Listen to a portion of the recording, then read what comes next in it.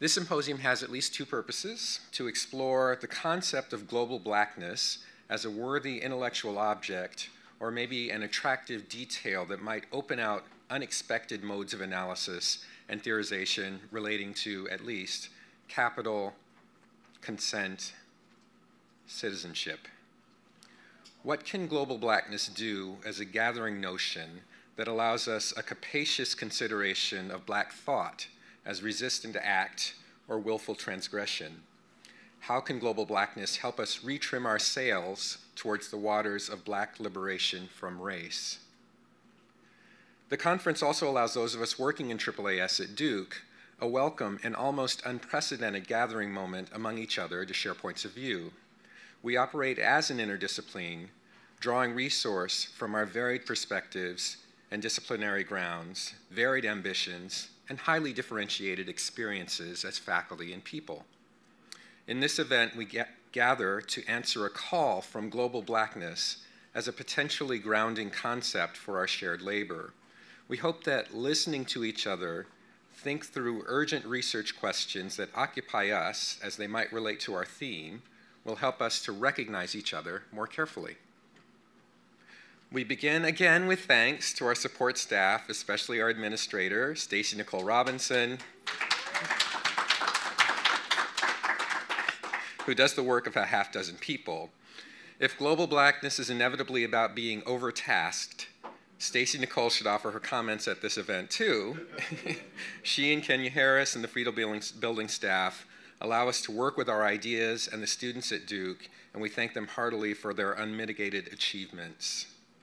Thanks also to the FHI, to Deborah Jenson, and the Humanities Future Funding that sponsors this event. Finally, we thank our guest speakers who come from diverse parts of the world and bring divergent approaches to bear on the fact of blackness and the implications of global blackness as an analytic lens. Your work has encouraged us already, and we thank Patricia Northover for her amazing keynote last night. You've encouraged us already, and we've asked you to join us and share your thoughts so that we might grow from your perspective. Uh, about the symposium uh, today, we will have uh, short, a series of short presentations and roundtables um, abutted by two keynote addresses this morning and then one this afternoon. Um, our speakers, outside accepting the keynotes, will offer short presentations followed by conversations around shared arisings or differences of approach. We hope for the event to feel like an intellectual provocation toward the recognition of communal possibility. And with that, I'm happy to turn the mic over to Dasha Chapman, our AAAS postdoctoral affiliate, who will provide the introduction. Welcome, and thank you for being here.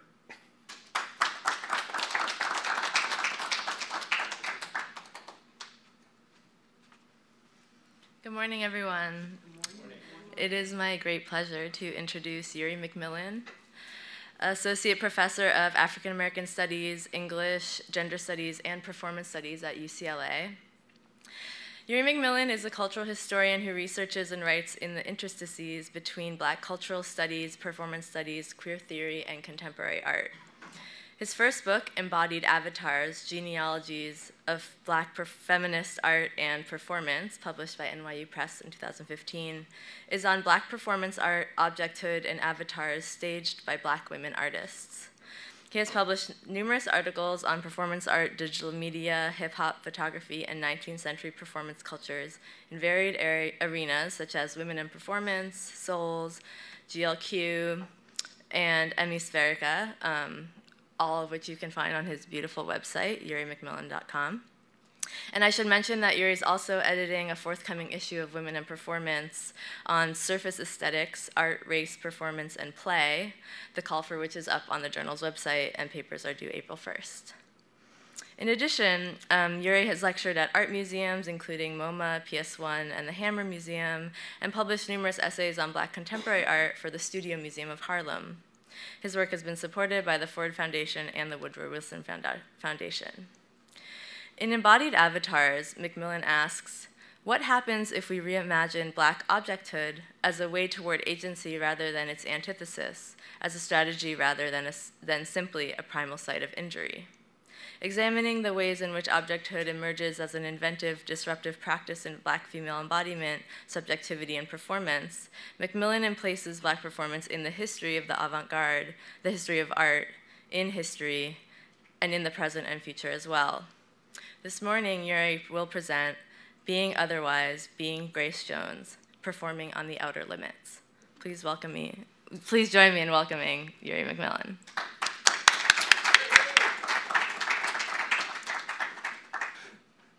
Thank you, Stacy Nicole, for doing all the arrangements, and of course, thank you, Tommy, for inviting me. Um, we're in a working group together called Black Performance Theory, and you know, I'd like to say that Tommy has been really instrumental in supporting a lot of our work, particularly those of us who are in English departments or other disciplines that don't always recognize what Black performance theory actually is. Um, so Tommy has been really helpful for that, and has also been a mentor for a lot of us professionally. Um, so it'd be, it'd be amiss not to thank him for that. Um, also in the directive of Tommy, what he also does a lot in Black Performance Theory is actually implore us to activate the space. So in order to activate this space this morning, particularly because it's early, um, I'm going to start actually with a music video to kind of warm up the space as well as warm up all of us. So let me do that now.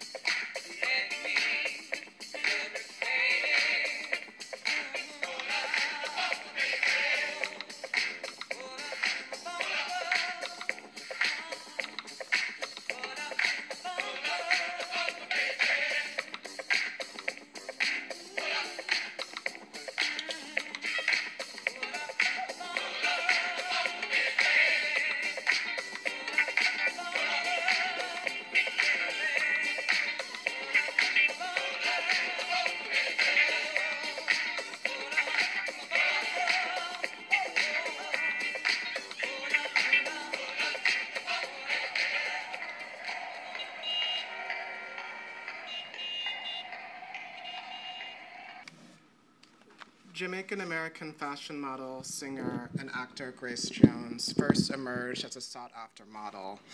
Signed to Wilhelmina Models in New York, her first modeling gig, a before and after for Essence magazine. Her career took off after moving to Paris in 1970, where she lived with aspiring model Jerry Hall and aspiring actress Jessica Lange. In her words, quote, I went to Paris and in three months I was on four covers. My timing was just right. I went there and everywhere I went, people said, we found her, Josephine Baker. They went wild. Moving with a fashion jet set that included emerging black models, Pat Cleveland and Alva Chinn, as well as artist and fashion illustrator Antonio Lopez. Lopez, uh, Jones was able to quickly gain working relationships with key figures in the industry. She worked, for instance, with several famed photographers in Paris, including Helmut Newton and Guy Bourdin, appeared on the covers of Elle and Vogue, and worked closely with several prominent clothing designers, including Yves Saint Laurent, Kenzo Takada, and Azzedine Alaïa. Um, this is Kenzo, I think this is Azzedine right here. Uh, to quote Andre Leon Talley, in an October 1984 interview he and Andy Warhol conducted with Jones in Warhol's Interview magazine, quote, with indefatigable style and a gift for visual originality, the clergyman's daughter was converted into a Parisian sine qua non of sophistication. Jones' career as a singer, meanwhile, coalesced in the 1970s. She released a rapid fire trio of disco drenched albums for Island Records, including Portfolio in 1977, Fame in 1978, and Muse in 1979. By January 1978, these musical endeavors and her live performances, including her notorious New Year's Eve performance at Studio 54 in 1977, emerging out the head of a giant cobra, gained the attention of American Vogue, they placed her in its feature, People Are Talking About People. Um, in their words, quote, Grace Jones was a Jamaica born, US raised, Paris groomed bombshell, now unleashing her I Need a Man star power with one night disco extravaganzas that have 60s rock concert power. In July 1979, Jones was featured on the cover of Ebony, a monthly magazine founded in 1945 by American publisher and businessman John H. Johnson, with aims to target and cater to a black American market and eventually the emergence of a black middle class in the post war United States. In a cover story written by then freelance writer Lynn Norment, the emergence and paradox of Grace Jones was best captured in an excerpt which I quote at length here.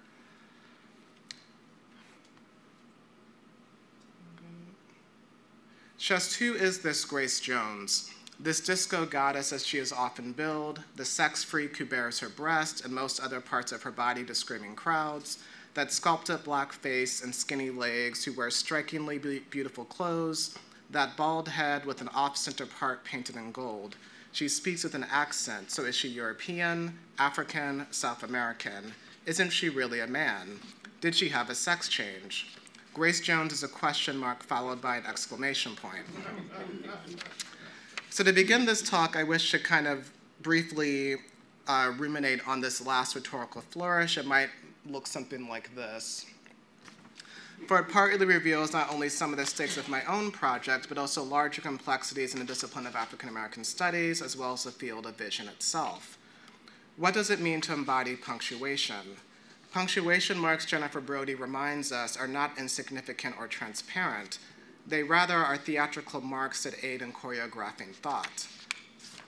Punctuation's paradoxical performances, Brody argues, produce access meaning. Punctuation marks mediate, express, and perform, and their performative access and contradiction seem particularly well suited in delineating a figure like Grace Jones. So first, a question mark in this coupling may gesture towards a problem with the black body in the visual field itself, particularly the black female body. Black women's bodies are visually coded as abnormal, the site of pathology, and dark fantasy. The expectation, as Nicole Fleetwood reminds us, is that representation itself will solve the problem of the black body in the field of vision. Yet, as she argues, this is a false promise, particularly for black women whose bodies are continually coded as both desirable and abject simultaneously. After all, representation is a trap, as Peggy Phelan so aptly put it. Thus, a polarity that has existed for so long on Black arts and letters between positive and negative representations is a particularly fraught one when it comes to visual depictions of Black women. The question mark, secondly, also gestures towards the need for diasporic understandings of Black aesthetic practices, since Jones' slippage in and out of national based notions of Blackness is also clearly at play here. Jones herself confirms this sentiment in her memoirs numerous times, remarking, quote, I looked black but did not sound black, or at least not black American, occupying another region of, quote, black but European, European but Jamaican, unquote.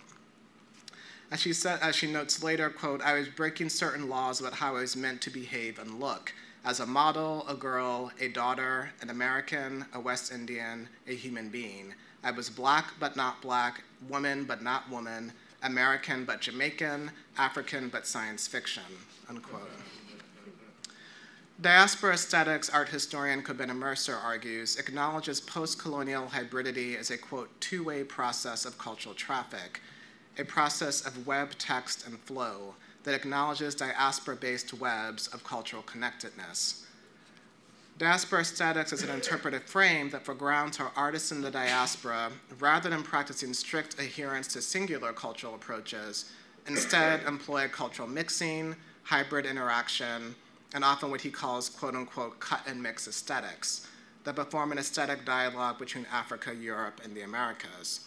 And here I would say I'm also thinking of Nadia Ellis's work too, particularly what Nadia Ellis calls eccentric forms of intimacy, or rather the identifications that black culture producers often have that leap across national boundaries. So for instance, when he talks about uh, Stuart Hall's fascination with white Hollywood actors as being an example of this.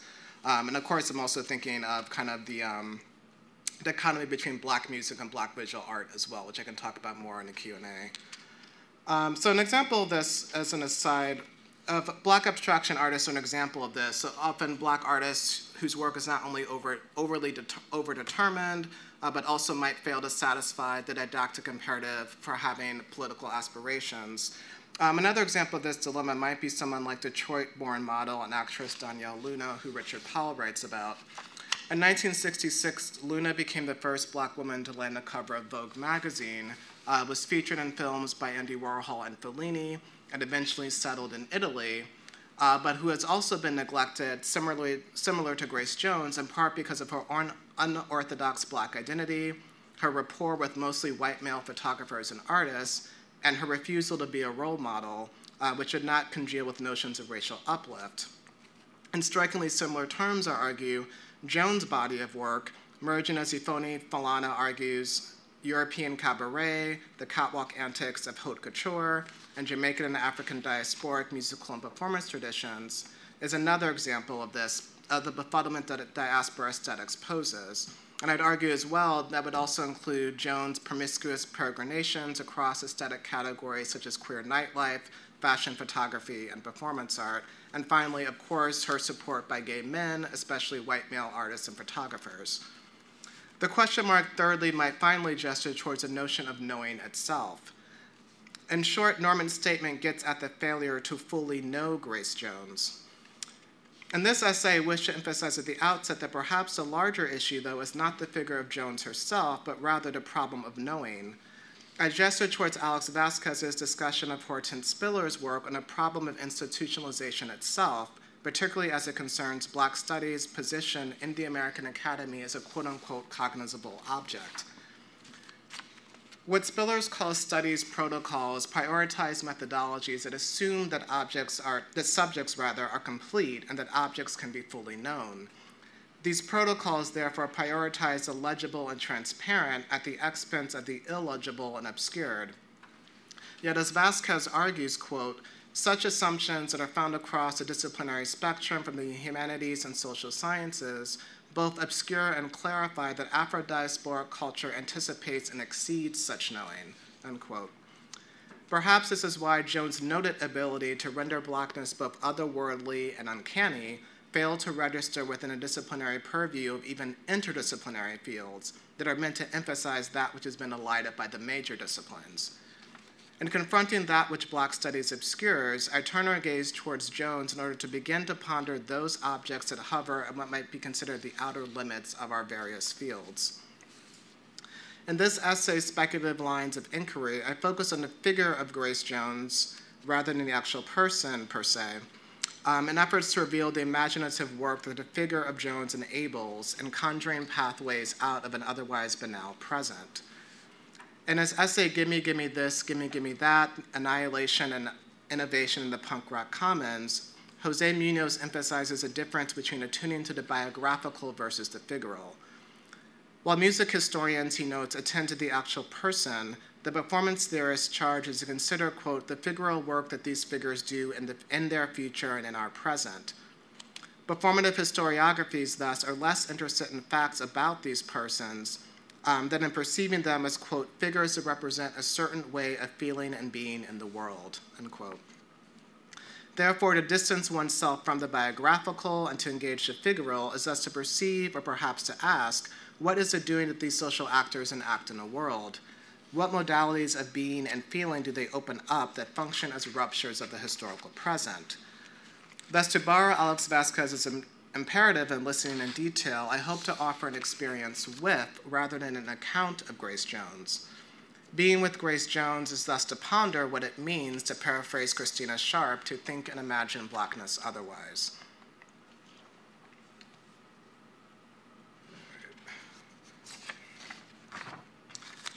Part two, flirting with the surface. In this essay, I ask, us to consider other ways of sensing Jamaica born performer, singer, model, and avowed art groupie Grace Jones, whose singular career as a quote, style icon, disco queen, avant garde rocker, Bond girl, provocateur, and sphinx, unquote, has spanned four decades. Uh, so, surface sensation form, Grace Jones Look at Morphologies, which is this project I'm currently working on now, builds on both the multidisciplinary analytical methods and the focus on visual performing arts materials that I began in embodied avatars. In surface sensation form, I position recent discourses at the intersections of surface, skin, aesthetics, and the sensorium in conversation with the body of work of iconic performer Grace Jones, as well as her key interlocutors. Um, so these would include Puerto Rican born fashion illustrator and photographer Antonio Lopez, um, whose work is, with Jones is seen here in these two pictures. Uh, visual artist Keith Haring, whose work with Jones is seen here. And Japanese fashion designer Issey Miyake, whose work with Jones is seen here.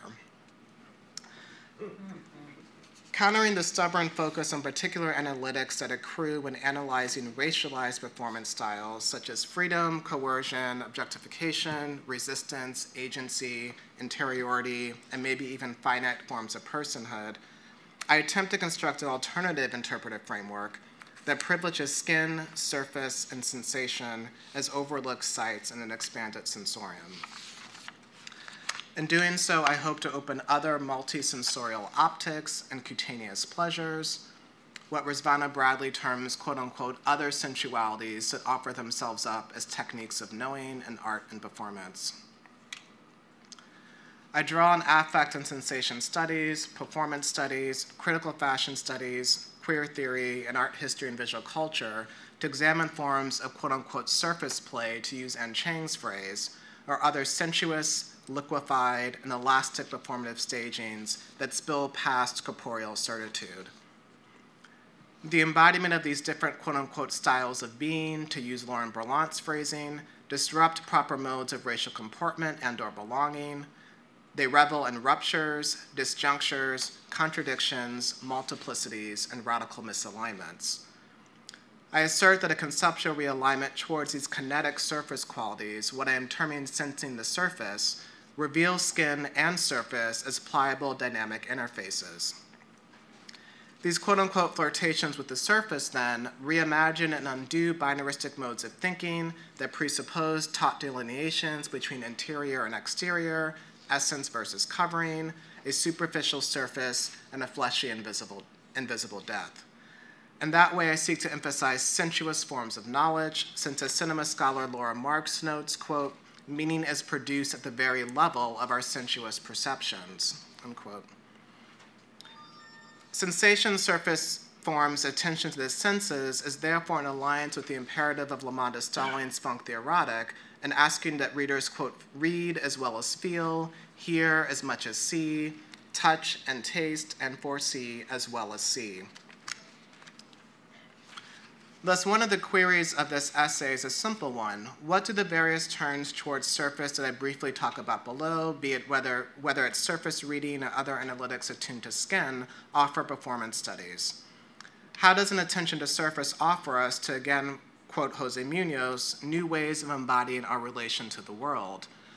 And how does this reconfiguration of the senses offer a partial pivot away from vision and sound, the two most delineated and privileged senses, and I'd argue particularly in Black studies, and instead interest towards other sensory experiences connected to tactility, taste, and smell, or epistemologies that are rooted more closely in the body?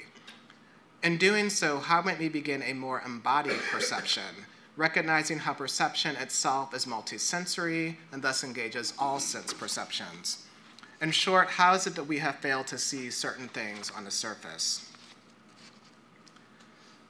Surface has emerged recently in all its permutations as a key word across a variety of disciplines, including art history, literary studies, cinema studies, and critical race theory. In attention to surface, these scholars argue, foil binary logics between interior and exterior, while also gesturing towards the emergence of alternative forms of representation and personhood. Meanwhile, interdisciplinary scholars situated in African American studies and performance studies have positioned black epidermal surface, or the skin, as an overlooked site in its expanded sensorium. So these scholars share a desire to more rigorously attune to the different scripts that skin, particularly black skin, can enact when it is not simply seen as a visual ur text of epidermal difference. Skin, Michelle Stephens argues in her book Skin Acts, Race, Psychoanalysis, and a Black Male Performer, for instance, argues that skin is not a hard container, which is how we usually analyze it, but rather a form of relationality. It is, quote, a threshold, a point of contact, a site of intersubjective encounter between the inner and outer self and between the self. Meanwhile, in her book, Second Skin Josephine Baker and the Modern Surface, Anne Cheng denotes how Baker's nudity never stands alone, uh, but rather her, that her theatricalized nakedness often relies on its idiosyncratic intimacy with other layered surfaces, be it banana skins, feathers, drapery, and animal fur. So in this essay, I'm positing a queer and feminist approach to surface aesthetics as an aesthetic medium, a performance practice, and a perceptive mode for pondering alternative visions of the social. Surface aesthetics or surfacism is a term used by art historian Christopher Penny to describe an emphasis on materiality and texture in a picture plane. But this essay is concerned with centering a performance studies approach to surface aesthetics. Thus, in this conceptual schema, surface aesthetics may signal how artists and performers deploy it as an embodied praxis and an artistic strategy to foil the gaze and reframe how bodies are consumed and comprehended. Surface aesthetics becomes a powerful, if perhaps counterintuitive, strategy for evading the gaze and escaping the grasp in a world that often demands transparency, readability, and legibility, especially for racialized subjects. This directive is heavily indebted to the writings of feminist scholars, particularly black feminist scholars, in visual studies, performance studies, um, and gendered sexuality studies. So, for instance, Nicole Fleetwood, Daphne Brooks, and Jennifer Brody's scholarship collectively for ground performance practices that function as distinct approaches to rep- representation and visibility, uh, whether that's excess flesh, non iconicity, opacity, or Afro alienation um, that function as forms of refusal or strategic misrepresentation. I ask, I ask, us then to consider how surface play may function, in LaMonda Stallings' words, as a dynamic interface that may produce, quote, alternative orders of knowledge about the body as well as imagination itself, um, as well as enacting, quote, new sensoriums and ways of being. In what ways do artists and performers, in addition to poets, writers, and philosophers, deploys surface aesthetics and efforts to create possibilities for the emergence of what film theorist Kara Keeling may call, quote, subaltern common senses, or ways of knowing that subvert and evade hegemonic and official common sense logics. Thus, I seek to ponder not only what the surface turn offers performance studies, but one that also recognizes that female artists and performers have actually been at the forefront of this performance centered practice of surface aesthetics for much of the 20th and 21st century. Whether it is aforementioned actress Josephine Baker's flirtation with cladding and self fetishization, Grace Jones' avowed superficiality and play with surface energy, to use her term, or conceptual artist Adrian Piper's play with the surface signifiers of race in her Mythic Being performances, Black women artists, performers, and philosophers have wielded surface aesthetics as a singular approach on pop art, portraiture, and performance art for quite some time as a method of escape, a pleasure politics, and a performance of objecthood. Okay, part three, towards a disco commons. So I'm going to begin with a quote from Grace Jones here. What took place in these clubs is a kind of choreographed danger, cruising as a form of socializing, contradictory pleasures gathered together in a single place, energy in the margins that would eventually pour into the mainstream. A whole range of sensations designed to make people happy for one night. These clubs were at their peak representation of the receptiveness to new ideas that were around at the time, a vivid, breathing, and often sweaty symbol of transition.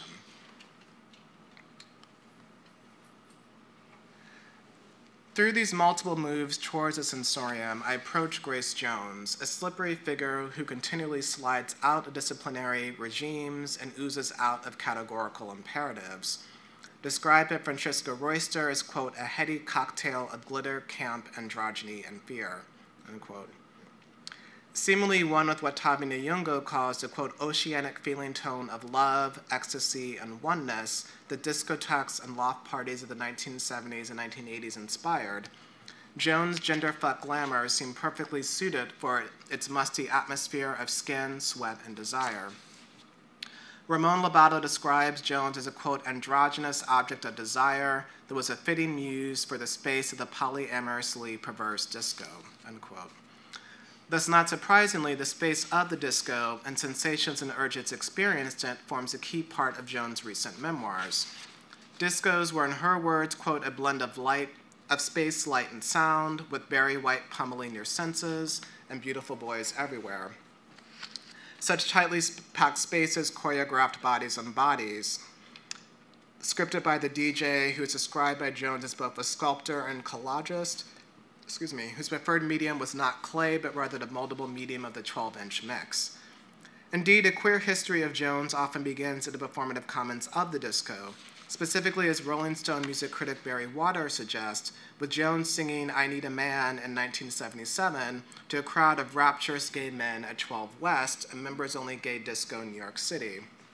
To quote him, quote, tough and lusty, Grace Jones sang I Need a Man just like a man might a woman who is not just singing to them, but also for them and as them. Jones, as an icon and cultural force, is as queer as a relatively straight person gets. I am interested in resensing Grace Jones and charting impressions of Jones at different conceptual frameworks and ones that are prompted by her own performative stagings. So, for instance, in the work I'm working on, I'm thinking of terms like liquidity, plasticity, curvilinearity, and kinetic eruption, for instance. These rubrics, I argue, begin inching towards embodiment as a kinesthetic energy rather than mere corporeal presence. After all, as music historian Tim Lawrence repeatedly notes, before disco became a, categor- a categorical musical genre called disco, it was actually more of a distinct and new form of bodily sensation.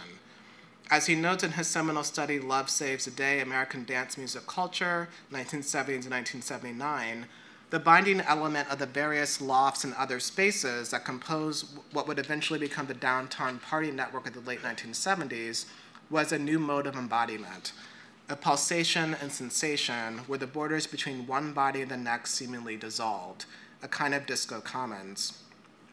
Sensation was not confined to the genitals, the modus operandi of white male dominated rock music, but instead permeated the entire body. It was, quote, everywhere and every new touch, sight, sound, sight, and smell.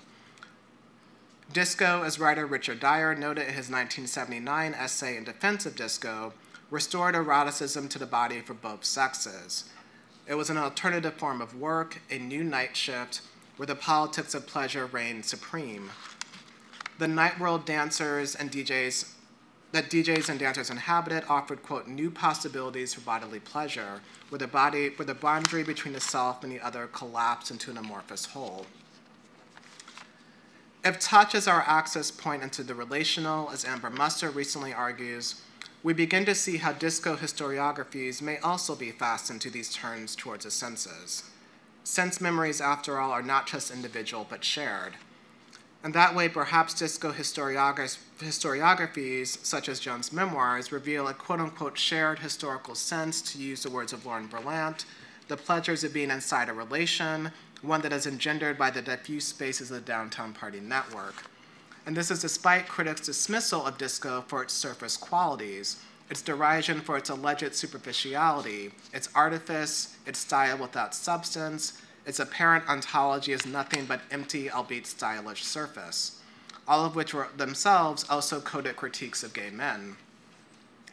After all, as Dick Hebdige reminds us in Subculture, The Meaning of Style, This stylish superficiality may be the very point where disco subcultures enacted their very challenge, since, quote, the challenge to hegemony which subcultures represent is not issued directly by them, but rather expressed obliquely in style. Unquote. I'm suggesting that in their effective pull, we may theorize the creation of disco commons, or to quote Jose Munoz, as quote, a force field of belonging through feelings, attachments, and fidelities, where the space of the disco may have enabled circuits of being with and difference and discord. And Jones' effective appeal in these spaces and this new culture of the night, where women, gay men, and African Americans were the key players, may reveal what Munoz calls a visceral desire to want something else within a field of ossified social relations, unquote. A longing, an elsewhere or a longing for an elsewhere that, as Nadia Ellis argues, is actually paradigmatic to diaspora itself.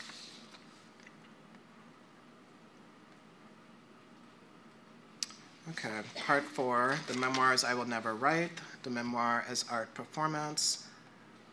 I'm going to begin here with a quote again. There's a lot of life in my songs, and after this argument with Jean Paul, I announced no memoirs, no comment. I decided that the only way I'd be known from then on is through my music, through pictures, and through art as an art groupie.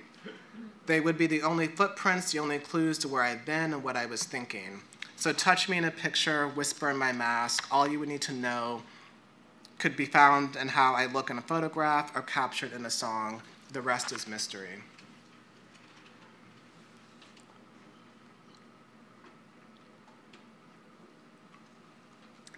The title of Grace Jones' recent memoirs, as the epigraph above suggests, is a playful, is a playful contradiction, since they were seemingly never exposed to exist in the first place. Listeners of Grace Jones will recognize the epigraph as a rearrangement of lyrics from the song Art Groupie, released in um, the fifth track off of Jones' fifth studio album, Nightclubbing, released in the spring of 1981. A throwaway track off an album stacked with wildly successful singles, including Pull Up to the Bumper or I've Seen That Face Before Libertango, and cover versions of songs by Bill Withers and Iggy Pop, the applicable lyrics go as follows I'll never write my memoirs, there's nothing in my book. The only way you see an art grippy, I'm hooked. Love me in a picture, kiss me in a cast, touch me in a sculpture, whisper in my mask. Don't ask me any questions, my personal life is a bore. Admire me in glory, and art groupie, that's all.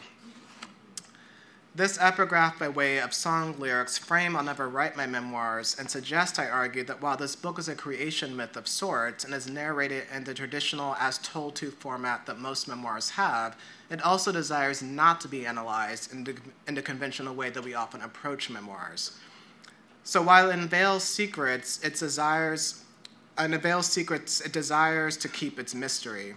Quote, there are plenty of secrets to reveal, I'm in the mood, but this does not mean I will spoil the mystery, unquote. Jones seeks to put another version forward, as she says. It happens to also be, quote, the me that I have made up. And while, quote, the other me's that I, and as well as the other me's that I have not even thought of, but I will get to them later, unquote. And she also likens the book's front and back covers to sex, teasing the reader from the outset that, quote, if you go under the covers of this book, do not be outraged at what you find. It is your fault for lifting the covers, unquote. So this, in short, might be an instantiation of the memoir as art performance. So I'm partially thinking of this through LaMonda Stallings' recent reconceptualization of sex work as art as experience, in part to refuse hierarchies that constantly, consistently privilege intellectual labor over the labor the culture producers perform. While I'm also thinking here with Juana Maria Rodriguez's recent writing of Vanessa Del Rio's memoir, particularly her claim that it's, quote, Del Rio's, quote, insistence on authorizing her own interpretive frame rather than the experiences themselves that may pose the greatest challenge to existing feminist formulations of sexual politics, unquote. If Rodriguez continues, we should, quote, wrestle with the ability of speaking subjects to narrate their own complex realities. We also need to listen to these alternative forms of meaning making, including, I argue, a memoir that desires to be taken up as art rather than a memoir per se.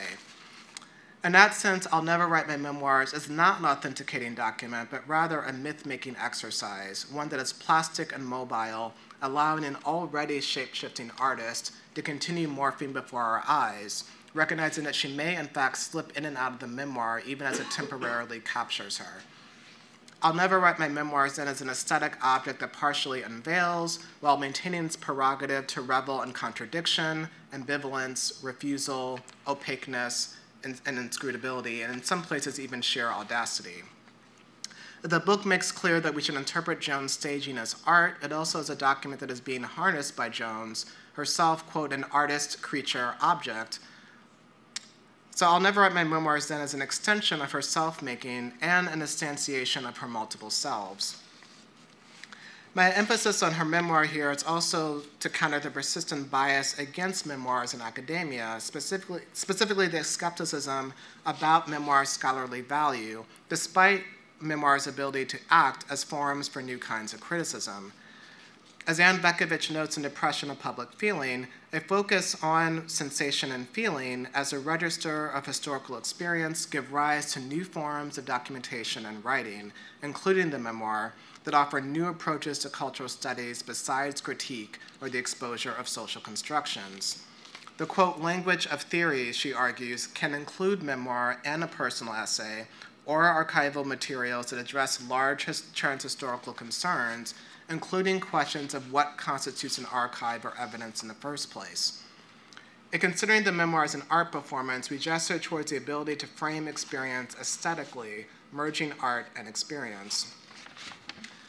I'll never write my memoirs, moreover, as a sensuous text, that is in part because the text itself grounds itself in a sensuous geography that is Jamaica, and Jones' exile from it via Syracuse, New York, Philadelphia, Paris, and finally New York City. If Jones had to invent herself in order to exist, the multiple chapter headings and their grounded in locations, be it Spanish Town, Disco, or Paris, make clear that spatial imaginaries were crucial to Jones' inventing of the self. Um, as Laura Marks, Laura discusses how second generation artists, specifically experimental filmmakers, are acutely aware of their particular place in diaspora, occupying a new land and, and sense memories the ones they left behind. Their, their ambivalent films, in turn, express these competing privileges of sense modalities as vehicles of knowledge. In similar terms, I argue Jones' memoir often reflects a tension between the sensory regimes of the West versus a Jamaica where the more proximal senses and corporeal vocabularies are more valued. Something, for instance, when she remarks about um, Caribbean aesthetic practices, quote, to perform in the Caribbean, you need a certain flourish. This is a place that likes big gestures and a sense of grandeur. So let me shift to corporate cannibal. Oh, okay. So let me let's skip that, go to conclusion. So I'll talk about corporate cannibal and the Q&A. So to begin closing, I'm suggesting that a more rigorous reading of Jones' ostensible nakedness might prompt other ways to engage it and what it reveals and obscures. In other words, if Jones' theatricalized nakedness is reconceived as a bodily canvas, a second skin, we get closer to the surface rather than the body of Jones, a body that does not necessarily offer itself as death or flesh, but rather stimulating, supple, and often sexy surface. Is Surface Amber Musser ask about nudity and being stripped down, or is it about shine and glamour? For Grace Jones, it seems to operate as both, often simultaneously. My focus on surface is therefore in dialogue with art historian Krista Thompson's recent discussion of surface aesthetics and contemporary Afro-diasporic art in her book Shine, Contemporary representational practices reveal how Afro-diasporic subjects are merging prosthetically with video and photographic media, becoming, in her words, quote, part technology and part flesh, inorganic and organic, a subject partially revealed but also concealed with multiple skins, surfaces, and screens, unquote. It is for this reason that she remarks, quote, that the surface of the surface, the effect of light reflecting off of surfaces, has become the new representational space for figuring black subjects, unquote.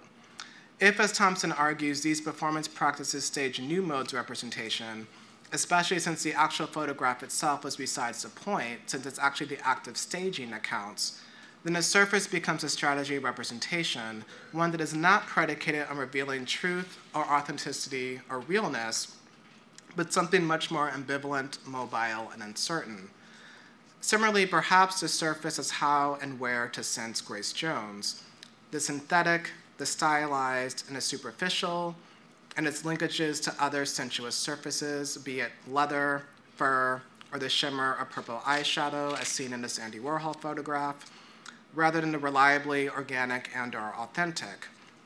Meaning may circulate and be embedded in ways that may prove opaque to others. Thus, Jones' lyric from her song Private Life, quote, that I am very superficial, I hate all things official, may function less as a platitude and more as a methodological reorientation. Sensing a surface rather than searching for, perhaps surface itself is meaning making, it means in itself sensing a surface rather than searching for the interior life of a paradoxically inches closer to the mysteries of the black performer. Or as Jones herself put it in her raucous rendition of Amazing Grace, sensing a surface enables us to begin sensing the shenanigans of a quote wretch, a little devil like me. Thank you.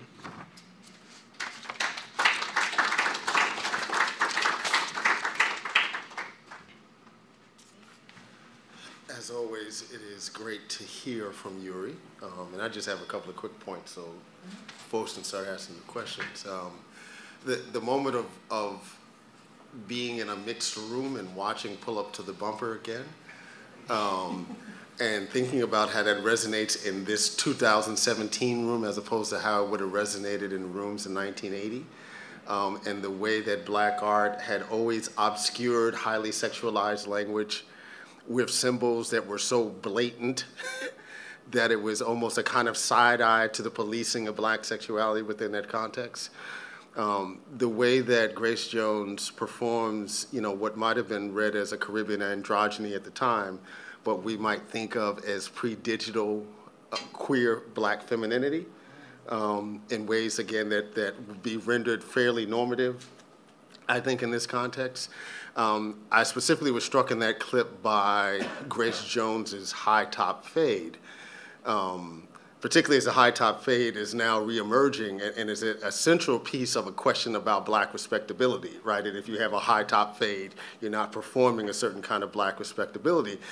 When I was 20 years old in the 1980s and had a high top fade, we called it a cameo fade you know, which speaks a great deal to the fact that, and you know, no one knows who Larry Blackmon is when Grace Jones is Grace Jones, right? I mean, the foundational haircut here really is Grace Jones, but Cats in the Hood were not going to call it a Grace Jones high top fade, right? They were going to call it a, a cameo fade. Um, this idea drawn from, from Christina Sharpe of, of being with Grace Jones and, and thinking and imagining, imagining being black and wonder what are the iconic figures we could think about both historically and now uh, that we could be with, right, that would give us a different rendering of what it means, a different experience of, of, of being black. Um, the piece around skin surface and sensation, again, drawing on the work of, of our own Rizvana Bradley uh, and Black Styles of Being. And, and what about thinking about the surface of blackness as something that is unembodied, um, as in the materials of blackness. And you mentioned some of that as you talk about Krista Thompson's work. And it immediately made me think about, in terms of this kind of um, surface of, of, the materials of blackness, and thinking about black record collections and, and the feel and the surface of black vinyl. Um, in a different kind of context, a bowl of coarse grits um, and, and that would be grits in which black folks are not putting milk in the grits, but simply salt and pepper and a little butter. Um, and, and the coarseness of that, you know, does the surface of black, and what does the surface of black virtuality um, look like and feel like? And again, I think that's something that you're kind of pivoting towards and thinking about the work Krista Thompson. Um, this idea of, of, towards a disco commons and, and, the way that the disco, particularly as it's rendered in its early days when it's largely black, Latino, um, and, and, and multi-sexual, right? And, and what happens when that transitions to a mainstream, right, in, in, the 19, in the late 1970s, so that when we do have these examples of, of disco sucks protest, right, at, you know, Comiskey Park in Washington, in, in, in Chicago, right, it really is an explosion in that context from young white males in their response to um, what they viewed was the overextending of sexuality and race in, in that context, and disco becomes a symbol for that. And then finally, that ebony cover, um, and ebony covers, you know, there, there, there's a book to be written about ebony covers, um, both in terms of photography, but then what they talk about, right? So, in an article, in a, in a cover story in which you're trying to find a way to claim Grace Jones within blackness, some of the articles that are included are superstars who have not forgotten their roots, right? This is 1979, right? So, you know, let's consider this the anti-O.J. Simpson article, right? Um, and again, roots then resonating in a certain kind of way because of Alex Haley in the miniseries, and ironically, O.J. Simpson plays a slave in Roots. Um, and then finally, down the line, can white people sing the blues? right? And this is an article that Ebony has rewritten over and over again for the last 25 years, so that you know in the 1990s it's can white people do R&B, and by 2015 it's can white people do hip hop, right? So it's this ongoing anxiety about whiteness, but the way in which it's collapsed around, you know, this question that Grace Jones now you know, produces in the context of thinking about black identity makes it kind of interesting in that context. Thanks a lot, Uri.